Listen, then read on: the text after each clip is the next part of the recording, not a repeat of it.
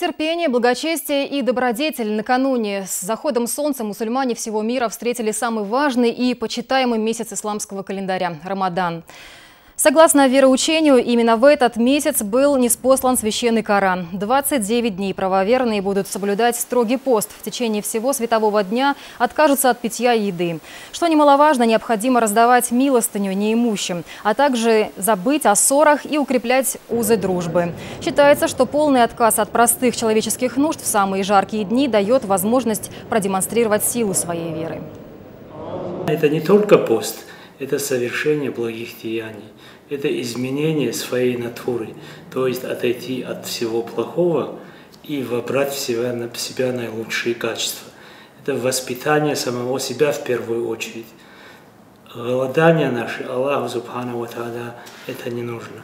Аллах Субхану Ва возложил на нашу обязанность, надеясь на то, что мы в этот благословенный месяц осознаем свои ошибки, поклоняясь в поклонении Всевышнему Аллаху.